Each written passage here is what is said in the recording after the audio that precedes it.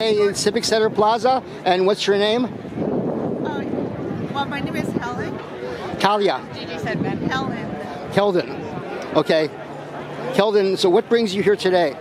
Uh, we are supporting the, uh, the, uh, the little babies that they are being silenced, that they cannot speak for themselves. And So- uh, yeah, we, we support um, pro-life. So, at what stage is a ba- is a fetus a baby?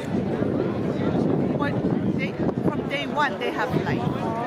From day one. So, two cells two cells subdivided are a baby in your view. They, they're always a baby, but they just have, just like anything, go have, have different stages. How about, how about contraception? Well, no, well. I mean, should contraception be illegal? Um, that is a different question, but um, you asked me why I am here. Yes, I just- well, so I'm. I'm just asking you about your views. So, Yes. Then I always believe God created everything for a reason, and then He created you and me. And then if if if not for the beginning from day one, we won't be here. I see. So, so are are you against someone else using contraception? I'm not against them. That is their choice. And is it their choice also to have an abortion? Um, abortion, because you are you are taking somebody's life away. You're, you're taking. Well, that's in your belief, right? You have to recognize there are other belief systems. It's true because it's a life living in the woman's body. That is a living. I life. see. It's a life. That's your belief. But it's not everybody's belief. It's, But it's not everybody's belief. it's true.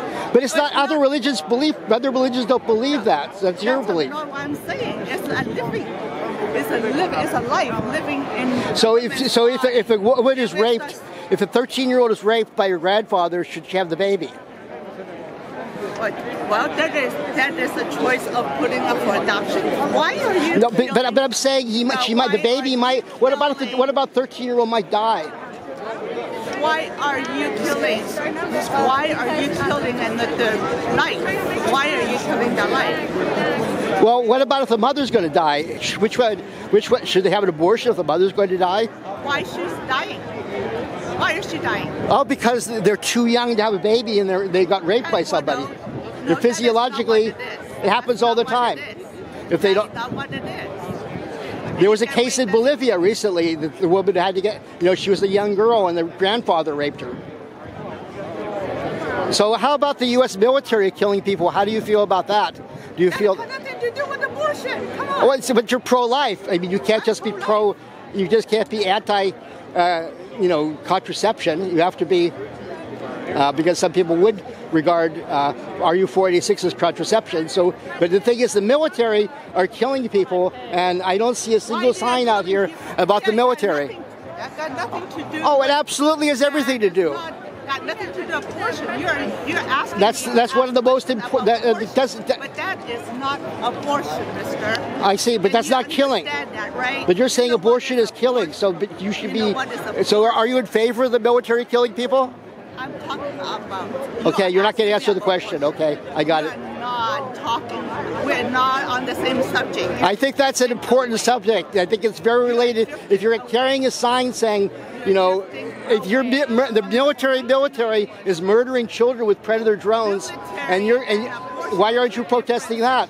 Also, You, know, it always only seems to be about women and what their rights. Go ahead. Life is life. Sorry, I interrupt you. Before we get started and do anything else, like every single person I understand that, but that's only part of pro- being pro-life. Being pro-life means being against the death penalty. Being pro-life means being against militarism killing.